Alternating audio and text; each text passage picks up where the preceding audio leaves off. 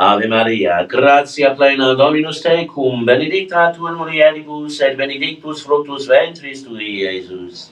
Sancta Maria, Mater Dei, ora nobis peccatoribus, nunc et in hora mortis nostrae. Amen. In nomine Patris et Filii, Spiritus Sancti. Amen. Carissimi beloved in Christ, welcome to this broadcast mass on this, the feast, as we said, of St. Luke the Evangelist. We might say the author of the Gospel of Mercy and Love. St. Luke is dear to us because of his two books, the third Gospel, which bears his name, and of course the Acts of the Apostles. The Acts of the Apostles, in particular, is dear to liturgists because it portrays so well the spirit of the ancient church, which gave birth to the liturgy. Luke was a companion and co laborer of Paul, and Paul's spirit too is reflected in his writings. Luke was by birth a Gentile, by vocation a physician, and he hailed from Antioch. See Colossians 4, verse 14. Luke embraced the faith at some unrecorded occasion, but no doubt from the ministry and preaching of St. Paul. We first meet him as a disciple and fellow traveller of St. Paul during the Apostles' second missionary journey. The so called we sections of the Acts, from chapter 16, 20, 21 to 27, prove that he accompanied the great apostle until Paul's first imprisonment in Rome. The Acts of the Apostles may well have been written during that two year period. Luke remained unmarried and is said to have reached the ripe old age of 84. He died as a martyr at Patara in Achaia and was buried at Thebes in Boeotia. In the year 357, his remains, together with those of the Apostle Andrew, were transferred to Constantinople at the bidding of the Emperor Constantine. Various cities, such as Venice and Padua, claim to possess his relics. The Gospel of St. Luke may have originated in the following manner. Because the Apostle Paul did not know the Saviour personally, and because he converted very little with the chosen twelve or with the disciples who had followed Christ, he charged Luke, certainly the best educated among his followers, to write the life and deeds of Jesus. Luke gathered all the extant records he did not confine himself to the two Gospels already written, Matthew and Mark, but drew from other sources, both written and oral. For eyewitnesses of the acts of Jesus were still living. Undoubtedly, he consulted the apostles, especially St. John, assuredly also the Blessed Virgin Mary. Thus, he became qualified to author a precious volume, one which someone has praised as the most lovable book ever written. In St. Luke's Gospel, our Saviour is pictured as the merciful physician of bodily and spiritual ills. It has therefore been called the Gospel of Mercy and Love. The beautiful passages of God's loving kindness touch us deeply. For example, the parables of the prodigal son and the Good Samaritan the account of the penitent woman and the good thief on the cross.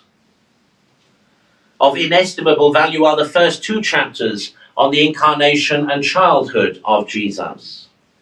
Here, Luke preserved for us the three precious canticles that we pray daily now in the holy in the divine office: the Benedictus, the Magnificat, and the Nunc Dimittis.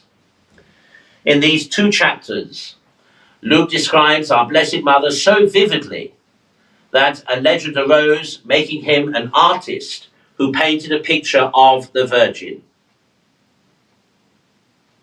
Certainly, this detail lacks some historical information, but the Gospel does provide excellent insights into Mary's soul. And for as far back as anyone can remember, the depiction in iconography from the East of Our Lady with the child Jesus has long been believed to have derived from an original painting of by St. Luke of the Blessed Virgin and has been faithfully represented ever since. Certainly, the theme of good news for the poor and for the outcast, for those who are outside, particularly of uh, Judeo society, comes across very strongly in St. Luke's Gospel. St. Luke's Gospel contains 18 other parables and healings than those of the Synoptic Gospels. Perhaps as a physician, he had a particular interest in these, but clearly also he had an interest both from the perspective of being a Gentile himself, having a concern for the poor. It is he, for example, enlisting the Beatitudes, who says, Blessed are the poor, and doesn't add in spirit. And certainly, there is great emphasis in the narrative of St. Luke. For example, in those first two chapters, it is St. Luke who describes to us the proclamation of the good news to the shepherds at Bethlehem announcing the arrival of the incarnation. Shepherds at that time in Jewish society were only a half step above pig farmers. Shepherds were not generally regarded as uh, desirable company, in part because of the nature of their occupation. They were always out and about, they could not keep themselves ritually clean. They were generally perhaps unsociable kinds of people. Their whole work, their whole life, their whole occupation was spent out in the fields, traversing the hills and the mountains with the sheep. The sheep, indeed, were their only company, really. When a shepherd came back into town or village, from work, you could smell him before you could see him. He had the smell of the sheep about him. And yet it was to such as these, according to St. Luke, and presumably according to the Blessed Virgin, that God sent first the glorious proclamation of the gospel, that whole host of angels that appeared to those shepherds, keeping watch over their flocks by night, as the translation and the hymn so beautifully renders it.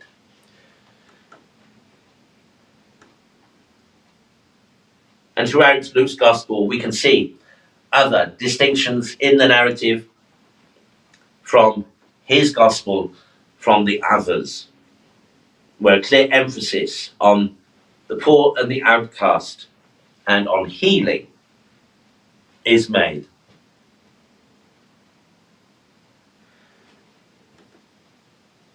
Christ is, of course, the physician of our souls.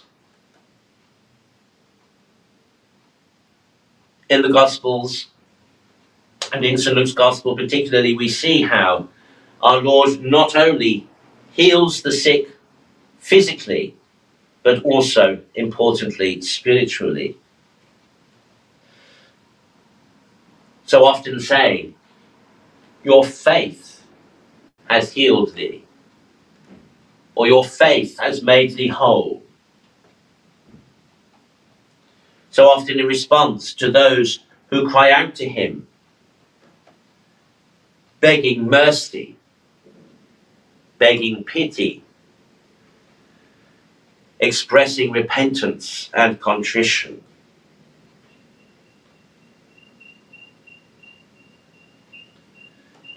if you've been listening to the daily meditations from Bishop Richard Challoner recently, you'll notice in the last couple of days our reflections have been turned toward purity. This is something, my brothers and sisters, we cannot escape from. That we as Christians are called to purity, to live pure lives. And this in stark contrast to the prurient world in which we live, a world which is um, a world which is obsessed with sex and sexuality, and a world that is pressing us to accept all manner of contrary behaviors to those prescribed by the gospel, wishing us, coercing us, and perhaps not like not uh, perhaps soon, not just coercing but imposing us to recognize and accept these behaviors and bless them. There are even voices abroad within the church, echoing the zeitgeist.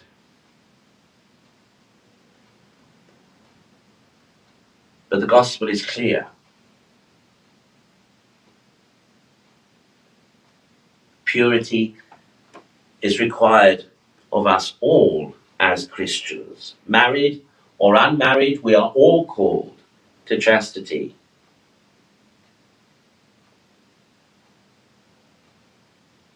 we are all called to purity. Purity of heart and mind, and purity of body and soul.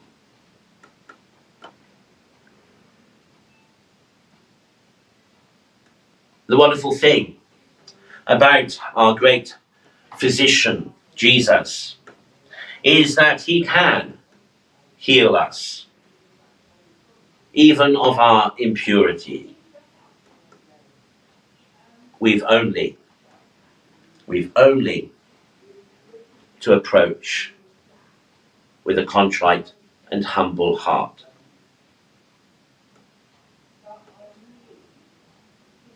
But as Christians, as baptized people, we were made holy.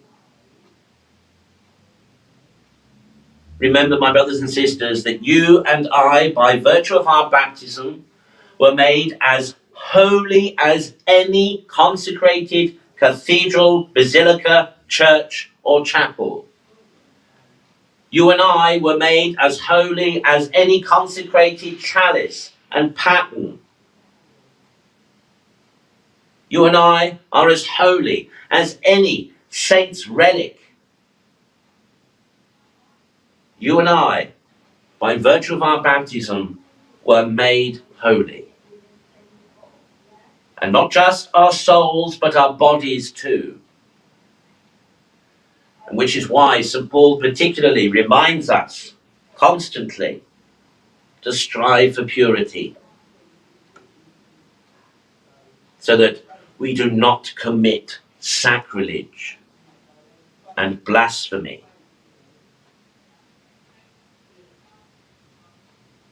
Every time we use ourselves for our own end, we are committing sacrilege. Just think about that for a moment. Every time we abuse ourselves, every time we do not use ourselves in the way that God commands and Christ teaches us, we are committing sin, but the sin is actually sacrilege. It's blasphemy. Remember St. Paul, do you not know that your body is a temple for the Holy Spirit.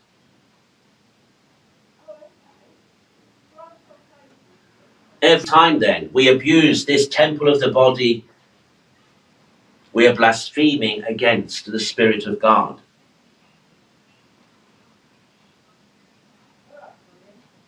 We mar the image of Him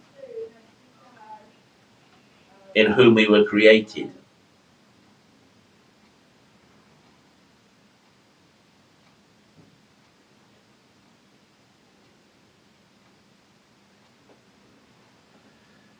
And so we see that St. Luke emphasizes, who of course was a companion of St. Paul, we see that St. Luke emphasizes the healing both of body and soul.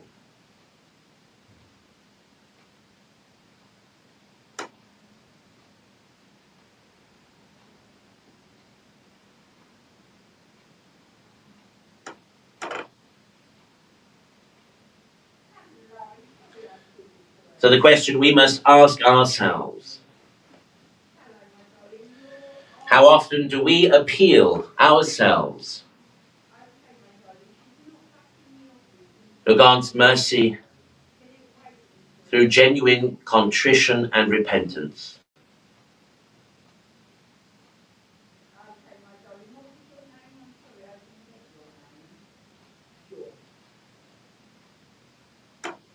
Be perfect as your Heavenly Father is perfect, our Lord tells us.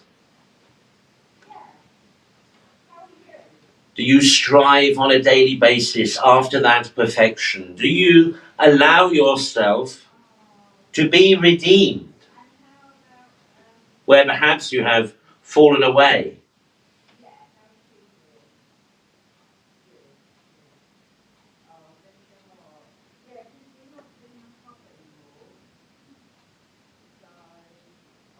Do we avail ourselves of God's grace, of God's mercy, of God's healing?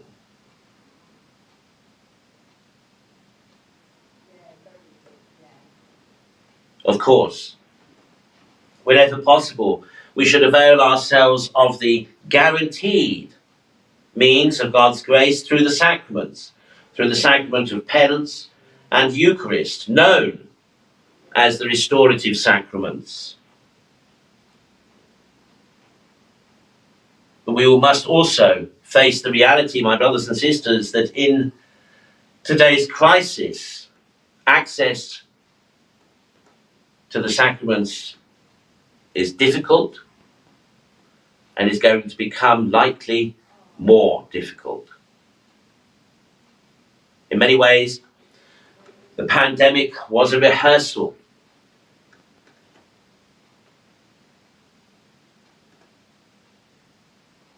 How then might you avail yourself of God's grace and healing and restorative power if you are unable to receive the sacraments on a frequent basis or even easily?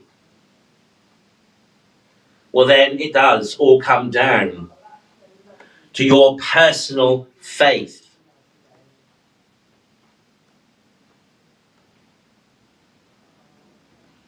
You must find within you the belief and the trust necessary to accept Christ's promises, to believe his word.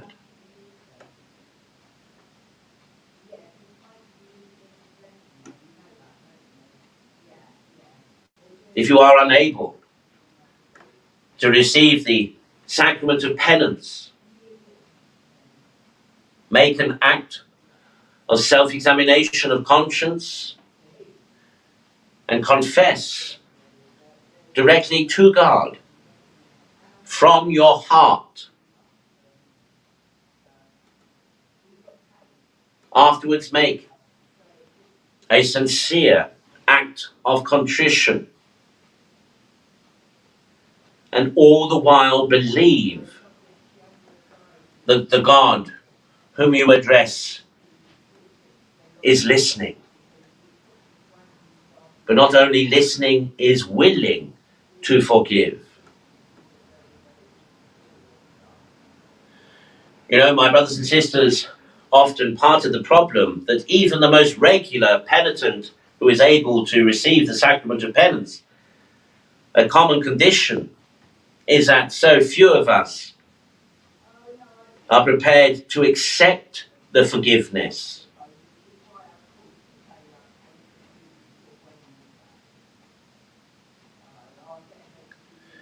It is certainly true that one of the benefits of being able to make one's confession to a priest is to hear the comfortable words of absolution as an affirmation of one's forgiveness.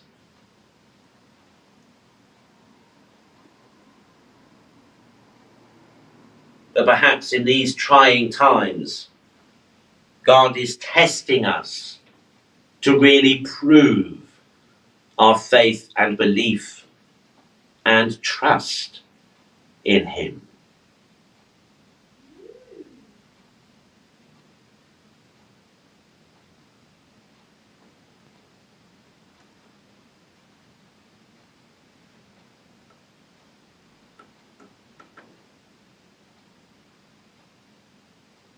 We often underestimate, too,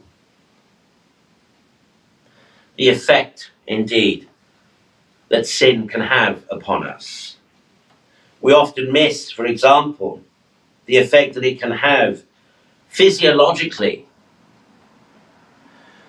when we are racked by guilt, when we are consumed by shame. when we can be crippled by our consciences. All these things literally can manifest themselves in our physiology. They can affect our mood, they can affect our temperament.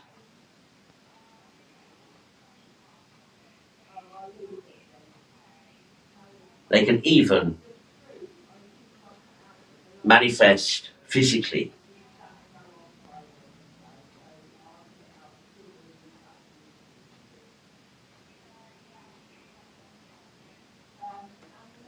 We all too often underestimate the effect and the power of sin.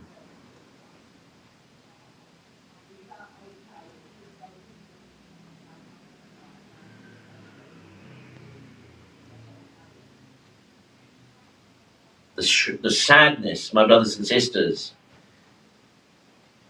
of so many people living miserable lives because of unrepented sin, because of unconfessed sin, because of a life compounding sin upon sin upon sin upon sin.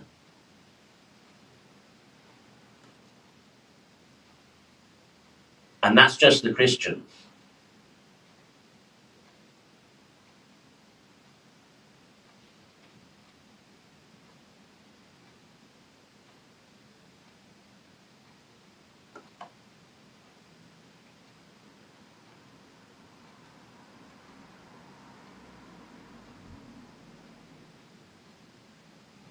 Do not fear they who can kill the body, but him who has power to kill both the soul and the body.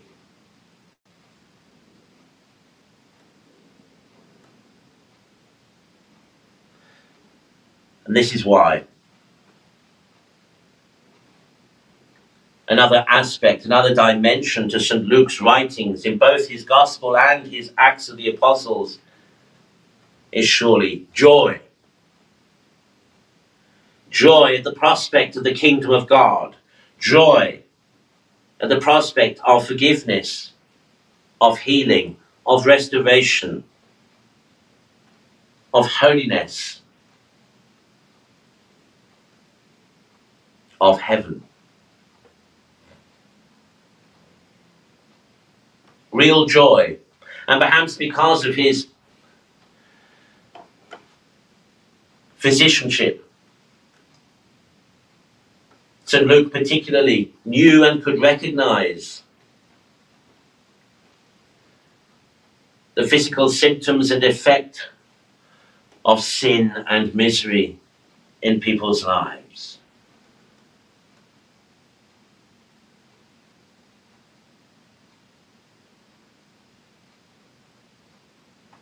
As we said, it is from Luke's Gospel that we receive the three canticles that frame our day.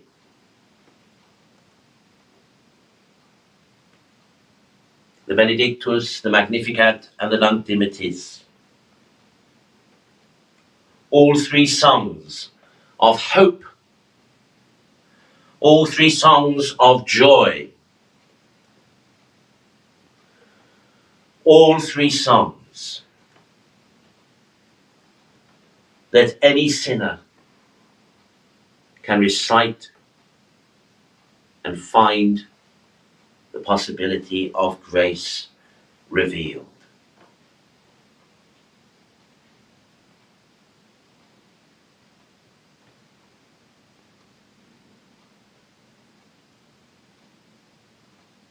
As we've said before, the Christian life is about striking a balance, an equilibrium between the spiritual and the material, between the heavenly and the earthly. But also, too, in our perception and appreciation of this life.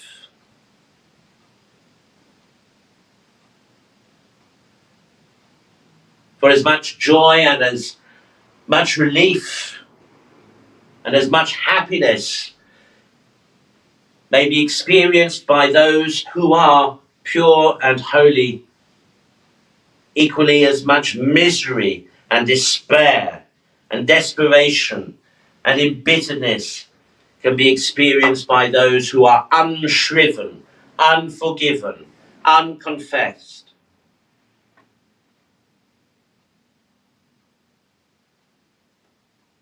And there perhaps has never been any greater need than now for the gospel of love and redemption, of forgiveness and restoration, of healing of both body and soul.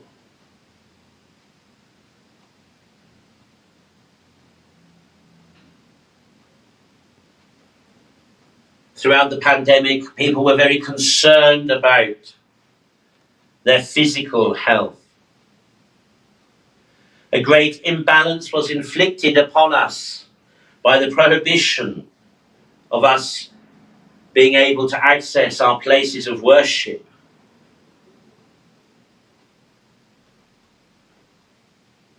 And so there is a great levelling up, to quote, to use a political term, there is a great need for a levelling up in our society.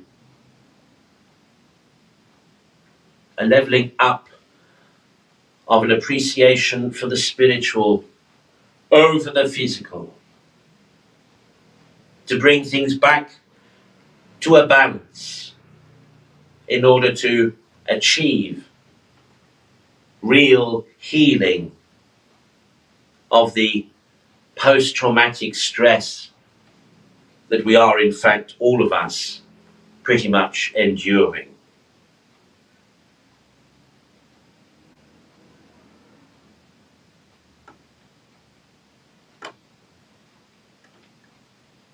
And which is why we ourselves must practice what we preach. Why we ourselves must strive for purity, for holiness why we ourselves must believe in the promises of Christ, why we ourselves must live according to the commandments of God.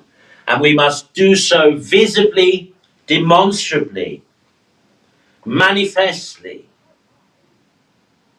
in order to be, as Christ calls us to be, lights to the world, salt of the earth.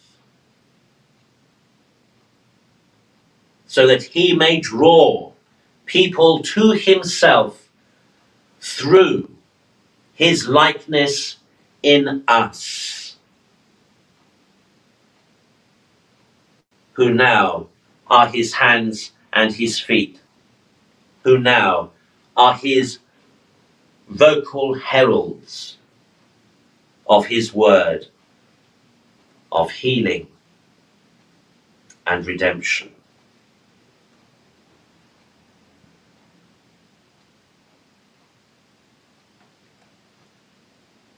We, my brothers and sisters, are called ourselves to follow after the example of the saints, to follow after the apostles, to follow after the evangelists. We, like St. Luke, are called to share our joy and our insights and our testimony for the salvation of others.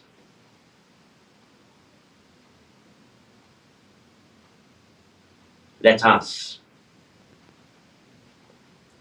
paint within the sanctuaries of our hearts, within the temples of our bodies, a sacred image of the incarnation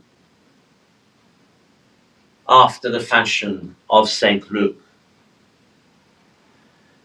Let us paint our icon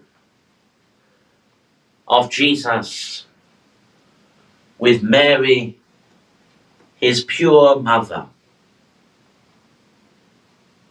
the example to us of how to become like him.